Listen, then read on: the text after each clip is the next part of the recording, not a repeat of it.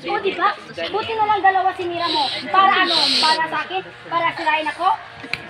Oh, now I get it. O, teka, o, teka, teka lang. Kaya pala may bilang friendship ako sa Mahachi at yung nagpa-deliver, yung babae, yung may sakit. Di ba? Oh, now. If you're... You're so slow? So what? E- Even? Ha? sinisiraan mo ako dahil na, na, nakikita nila kung ano ang puso mo. My God, Kelly, ang tagal-tagal na noon. Pero yung matagal na yun, nandito pa rin. That's just one mistake. Isa lang. Isa? Dalawa? Tatlo? Pareho lang yun. Sumuso ka pa rin sa iba. Lasing ako noon. Bintik ka palikot yan. Kahit lasing ka, alam mo ginagawa mo.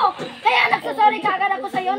Kahit anong sabihin ko, I was wrong. Nagkamali ako. Nasaktan kita.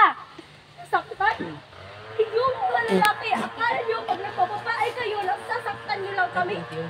Makikipagtuktakan kayo, tapos ini-expect nyo, iiyak lang kami. Itutulog lang sa sakit, tapos pagising, okay na. Yun ang pangarap namin. Sana ganun lang kadali yun, kaso hindi.